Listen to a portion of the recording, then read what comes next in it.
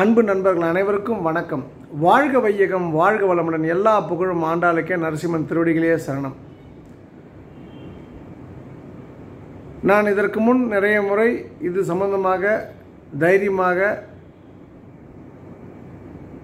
தொலைக்காட்சியின் மூலமாகவும் சோஷியல் மீடியாக்கள் மூலமாக பதிவிட்ட விஷயத்தை சற்று மாறுபட்ட கோணத்திலிருந்து பதிவிட விரும்புகின்றேன். திருநெல்வேலியை சேர்ந்த என்னுடைய குடும்பமானது எங்களுடைய இனமானது சுத்த சைவம் என்கின்ற ஒரு விஷயத்தினால் எங்கள் குடும்பத்தில் யாரும் அசைவம் சாப்பிடுவது கிடையாது. ஆனால் நான் வாழ்ந்த வாழ்ந்த வாழ்க்கை சூழ்நிலையின் காரணமாக இடத்தின் காரணமாக நான் அசைவம் சாப்பிட்ட பொழுது என் தந்தை என்னை என்னை என்றைக்கும் தடுத்ததில்லை. அண்ணாமலை பல்கலைக்கழகத்திற்கு படிக்க சென்றபோது மாணவனாக சென்ற நான் பின் மனிதனாக திரும்பி வந்திருந்தாலும் இடைப்பட்ட காலத்திலே மாணவனுக்கும் மனிதனுக்கும் உள்ள இடைப்பட்ட காலத்திலே மது என்கின்ற ஒரு விஷயத்தையும் புகை பிடித்தல் என்கின்ற ஒரு விஷயத்தையும் என் கைப்பிடித்து கொண்டு ஆனந்தமாக சுற்றிய காலம் என்ற ஒரு காலம் உண்டு. அதை பார்த்து நிறைய பேர் என்னுடைய தந்தையாரிடம் என்னை பற்றி குறை கோல் மூட்டினால் மூட்டின விஷயங்களும் நடந்தது உண்டு என்னை கண்டிக்க சொல்லி அவரிடம் கடிந்து கொண்டவர்களும் உண்டு. எல்லோருக்கும் அவர் சொன்ன பதில் ஒன்றே ஒன்று தான் எல்லா விஷயத்துக்குமே முத்தாய்ப்பாக. என் பையன் வந்து எனக்கு தெரியும் என் பையனை பற்றி அவனு அவனுக்கு எது லிமிட் அப்படின்ற ஒரு விஷயத்தை அவன் நன்றாக தெரிந்து கொண்டவன். அதனால் அவன் தப்பு நான் விட்டுருவான். இப்போ போய் நான் போய் அவனை அடிக்கிறதோ திட்டுறதோ அப்படின்ற ஒரு விஷயத்தை நான் இது வரைக்கும் என் பையன் வளர்ப்பில் நான் பண்ணதில்லை. ஸோ நீங்கள் உங்கள் வேலையை பாருங்கன்னு சொன்னவர் தான் என்னுடைய தந்தையார் அப்படிப்பட்ட என் தந்தை நான் வாழ்ந்த பகுதியிலே என்னுடைய வட்டாரத்தில் எல்லாருக்கும் தெரிந்த விஷயம் என்னுடைய அந்த கல்லூரி காதலானது. நிச்சயமாக என் அப்பாவிற்கும் என் அம்மாவிற்கும் தெரிந்திருக்க முடியாமல் இருந்திருக்க இருந்து இருப்பது இருந்திருப்பதற்கு வாய்ப்பே இல்லை. இருந்தாலும் ஏதோ ஒரு ஒரு விஷயம் ஒரு நாள் பேசும்போது நான் உனக்கு பெண் பார்க்க போகின்றேன் என்ற ஒரு ஒத்தை வார்த்தை சொன்னான் நானும் உடனே எதையும் யோசிக்காமல் சரி என்று சொன்னேன். இடைப்பட்ட காலத்திலே பெண்கள்லாம் பேச்சு வரும்போது பெண் பார்க்கணும் அப்படின்லாம் எனக்கு என்னுடைய குடும்பத்தில் பேசும்போது ஊனமுற்றவரோ மன அதாவது வந்து விதவையோ கணவனை பிறந்த பெண்ணையோ ஏதோ ஒரு குறை ஏதாவது ஸ்டாமரிங் காது கேளாத ஏதோ ஒரு குறை இருக்கிற பெண்ணை தான் நான் கல்யாணம் பண்ணிக்கணும் அப்படின்லாம் சொன்னது உண்டு. உண்மையிலே இந்த காதல் நடுவில் ஒரு தோய்வு இருந்த காலகட்டத்தில். இருந்தாலும் என்னுடைய காதல் மேலே எனக்கு ஒரு பெரிய மரியாதை இருந்த காரணத்தினால் என்று எப்படியாவது இந்த காதல் நடந்துரும்ன்றதை வந்து ஒரு எழுபத்தஞ்சி பர்சன்ட் நம்பினேன். இருந்தாலும் என்னுடைய தந்தையார் பெண் பார்க்க போகின்றேன் என்று சொன்ன உடனே எதையும் சிந்திக்காமல் நீங்கள் பாருங்கள் என்று சொன்னேன். நான் காதலித்த பெண்ணிடமும் நேரிலே சென்று இதுதான் விஷயம் என்ற பொழுது அவளும் சொன்னாள் சொக்கு நீ எந்த முடிவு எடுத்தாலும் சரியாக முடிவெடுப்ப. நீ வந்து உங்கள் அப்பா பேச்சை கேளு. பட் ஒன்லி திங் வந்து let's not meet again let's not see again என்னை திரும்ப பார்க்க வேண்டாம் என்கிட்ட பேச வேண்டாம். நானும் வந்து அது ஒரு அந்த டைமில் வந்து இருந்த ப்ரெஷரில் வந்து அது ஒரு பெரிய சங்கடமான பிரிவாலாம் இல்லை. பட் இருந்தாலும் இந்த சம்பவம் நடந்த பிப்ரவரி நாலு ஆயிரத்தி தொள்ளாயிரத்தி தொண்ணூத்தொம்போது நடந்த சம்பவம் இது நடந்த அன்ற ஆய பிப்ரவரி நாலு ஆயிரத்தி தொள்ளாயிரத்தி தொண்ணூத்தொம்பது அன்று நடந்த சம்பவம் இது. பிப்ரவரி பன்னிரெண்டு என்னுடைய மனைவியுடைய புகைப்படத்தை பார்க்கின்றேன். பிப்ரவரி பதினெட்டு நான் திருநெல்வேலியில் உள்ள நெல்லையப்பர் கோயில் வைத்து என் மனைவியை பெண் பார்க்க செல்கிறேன். என்னுடைய வகுப்பு தோழர் பாலசுப்ரமணியம் துணை கொண்டு என்னுடன் என் அம்மாவுடைய அம்மா பாட்டி என்னுடைய ஆச்சி மற்றும் என்னுடைய மாமா பொண் நான்கு பேர் தான் போகிறோம் ஒன்றும் எனக்கு அந்த பொண்ணை பார்க்கணுலாம் ஒரு பெரிய இன்ட்ரெஸ்ட்லாம் கிடையாது. ரெண்டாவது வந்து எப்படியாவது அந்த பொண்ணு நம்மளை வே வேணான்னு சொல்லிடணுன்ற மாதிரி தான் ஒரு அழுக்கு சட்டை போட்டுட்டு வாட்ச் கட்டாமல் கொஞ்சம் ஷேவ்லாம் பண்ணாமல் முடியெல்லாம் ஒரு மாதிரி அந்த எலி கோதற மாதிரி முடிய வச்சுக்கிட்டு குளிச்சுட்டு ஆற்றுல குளிச்சு கண்ணெலாம் செகக்க போய் சேர்ந்தோம் அன்றைக்கி வியாழக்கிழமை. இருந்தாலும் அந்த பொண்ணோட துரதிருஷ்டவசமாக துரதிருஷ்டவசம்னு சொல்கிற அளவுக்கு அந்த பொண்ணுக்கு என்ன பிடித்துட்டதுனால பிப்ரவரி இருபத்தாறே வந்து நிச்சயதார்த்தம் நடந்தது. ஏப்ரல் ஐந்து திருமணம் நடந்தது. ஆயிரத்தி தொள்ளாயிரத்தி தொண்ணூற்றி ஒம்பது மே முப்பது என்னுடைய தந்தையார் என்னை எங்களை விட்டு பிரிந்து சென்றார். அதாவது கா மர மரணம் அடைந்தார் எதற்காக இதை சொல்கிறேன்னா எங்கள் குடும்பத்தில் எல்லாருமே நான் லவ் மேரேஜ் பண்ணிப்பேன் நம்பினாங்க. நான் பண்ணலை. என்னோடய குடும்பத்தில் எல்லோருமே வந்து அரேஞ்ச் மேரேஜ் பண்ணுவான்னு நம்பினாங்க. அதில் ஒருத்தர் வந்து வெள்ளாள கவுண்டரையும் பண்ணாங்க. ஒருத்தர் முஸ்லீமை பண்ணாங்க ஒருத்தர் வந்து கிறிஸ்டினை பண்ணாங்க. இது மாதிரி வந்து மாறுபட்ட காதல் காவியங்கள் இருந்த ஒரு குடும்பமாக எங்கள் குடும்பம் இருந்தது. அதில் வந்து என்னுடைய தந்தையாருக்கு ரொம்ப சந்தோஷம். அவர் நினைத்த மாதிரியே நான் சிகரெட்டை விட்டேன் குடியை விட்டேன் அசைவத்தை விட்டேன்ற ஒரு விஷயம்லாம் அசைவெல்லாம் வந்து அவர் இற சா சா இறக்கும்போது இருந்தால் கூட பின்னால் விட்டுட்டேன் அந்த முதல் ரெண்டு பழக்கங்கள் வந்து அந்த டைமில் இல்லாமல் போனது. அதில் நான் குறிப்பாக நான் கல்யாணம் பண்ணதாக ரொம்ப சந்தோஷம்.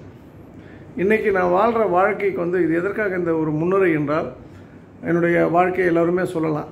ரொம்ப கம்ஃபர்டபுள் லைஃப் லீட் பண்ணுறீங்க ரொம்ப ஒரு வெல் கனெக்டட் பர்சன் அப்படின்லாம் வந்து நிறைய பேர் பாராட்டலாம்.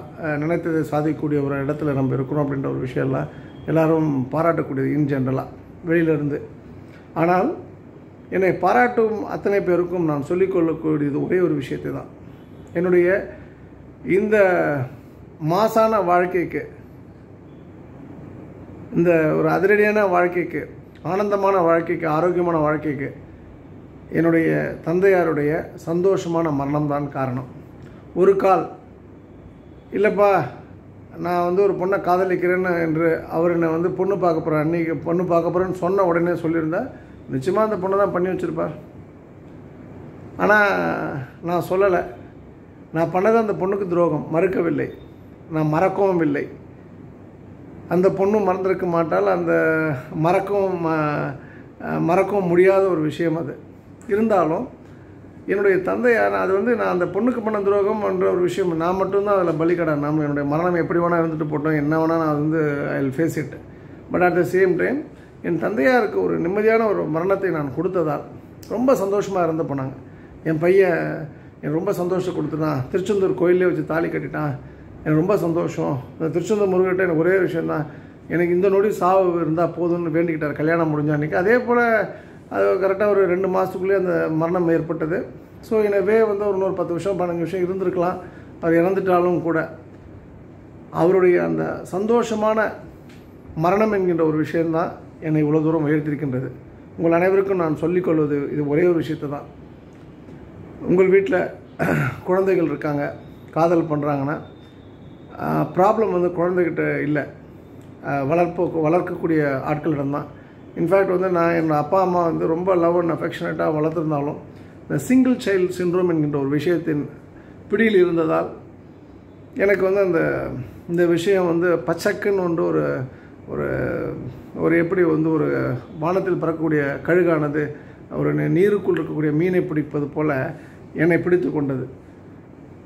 அப்போ எல்லாருமே கவனிக்கணும் ஒரு காதல் ஒரு விஷயம் இருக்குன்னா பேரண்டல் லவ் வந்து அப்சல்யூட்டாக மிஸ் ஆகும்போது தான் அந்த குழந்தைகள் அதை நோக்கி போகிறாங்க நம்பர் ரெண்டு இல்லை அதெல்லாம் நல்லா இருக்குது அப்படின்னு சொன்னால் சிங்கிள் சைல்டு சின்ரோம்ன்ற ஒரு விஷயம். அப்போ ஒத்த குழந்தைய பெற்றுக்காதீங்க ஒத்த குழந்தைய வச்சுக்காதீங்க.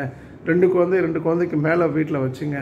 இது ரெண்டாவது விஷயம். ரெண்டு குழந்தைக்கு மேலே போகும்போது ரெண்டோ ரெண்டுக்கு மேலே போகும்போதோ அப்போது யாரை கவனிக்கிறோன்ற ஒரு விஷயம் வரும்போது அந்த இடத்துலையும் பேரண்டல் லவ் மிஸ் ஆகிறதுக்கு ஆப்பர்ச்சுனிட்டி உண்டு.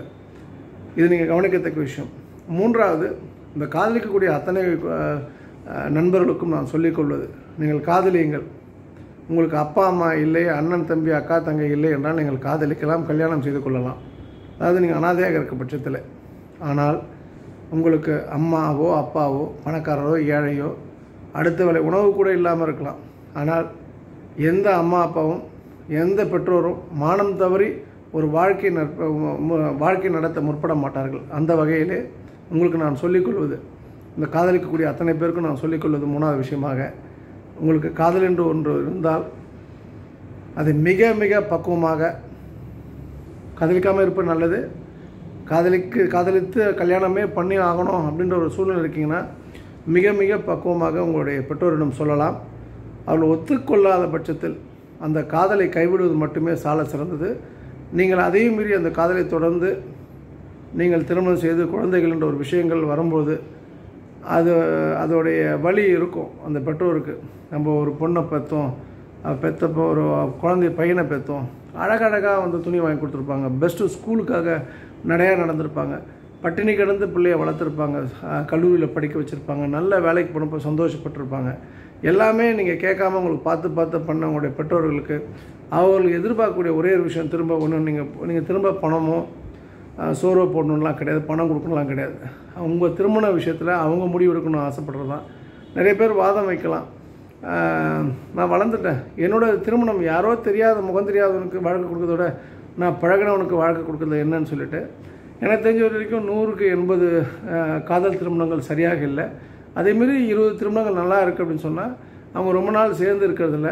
சேர்ந்து இருக்கிற பட்சத்தில் அவங்க அந்யோன்யமாக இருக்கலாம் சேர்ந்துருக்கலாம். ஆனால் கால ஓட்டத்தில் அவங்க வேலை நிமித்தமாகவோ ஆரோக்கிய குறைபாடுகள் காரணமாகவோ பிரிந்து இருக்கக்கூடிய ஒரு வாய்ப்பு ஏற்படுத்திருக்கு ஏற்படு ஏற்படுகின்றது என்பதை நான் கண்கூடாக பார்க்குறேன். So point number one parents வந்து தயவுசெய்து வந்து லவ் யுவர் கிட்ஸ் அந்த கிட்ஸ்க்கு நான் சொல்கிறது லவ் நமக்கு வேண்டாம். மாற்றார் மாற்றார் மாற்றார்களுடன் நம்முடைய அவுட் சைடு அவுட் சைடு வேர்ல்டோட நம்மளுடைய பேரண்ட்ஸை நம்ம லவ் பண்ணுவோம். நீங்கள் லவ் பண்ணியே ஆகணும். லவ் பண்ணுற பட்சத்தில் அதுதான் கல்யாணம் பண்ணி ஆகணும்னா உங்கள் பேரண்ட்ஸை கன்வின்ஸ் பண்ணாமல் நீங்கள் கல்யாணம் பண்ணாதீங்க. இந்த மூன்று விஷயங்களும் எல்லோருடைய கவனத்திற்கு நான் அப்போ நான் பெற்ற வெற்றி வந்து என்னுடைய அந்த காதல் சாம்ராஜ்யத்தின் கல்லறையில் மேல்தானா கூட அது தவறு தான் நான் பண்ணதுன்னு சொன்னால் கூட. ஆனால் அந்த பெண் வந்து என்னை அக்செப்ட் பண்ணிக்கிட்டா. நான் எடுத்த முடிவு சரியென்று ஆனால் எங்கள் அப்பாவால் அதை அக்செப்ட் பண்ணியிருக்க முடியாது. நிச்சயமாக உருக்குலைந்து போயிருப்பார். அதை நான் மனப்பூர்வமாக நெகிழ்ந்து சொல்கின்றேன். அப்போ நீங்கள் பிரம்மாண்டமான வெற்றிகள் பெறணும் ஆனந்தமாக ஆரோக்கியமாக இருக்கணும் சந்தோஷமாக இருக்கணும். நிச்சயமாக உங்களை காதலிக்கக்கூடிய யாரையுமே ஹர்ட் பண்ணிடாதீங்க உங்களுடைய காதலி என்பது இப்போ காதலன் என்பது இப்போது வந்த விஷயமாக இருக்கும். அவர்களுக்கு முன்னால் நம்ம அம்மா அப்பா இருக்காங்க. அக்கா தங்க அண்ணன் தம்பி இருக்கின்றார்கள்.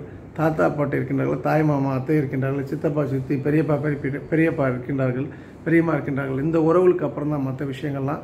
ஸோ இதை கவனத்தில் வச்சுங்க. வாழ்வது நீங்களாக இருந்தாலும் நம்ம பிறருடைய வாழ்க்கையை குலைத்து பிறரை மரணமடைய வைத்து நாம் நம் வாழ்க்கையை துவங்கக்கூடாது என்பது என்னுடைய தாழ்மையான கருத்து.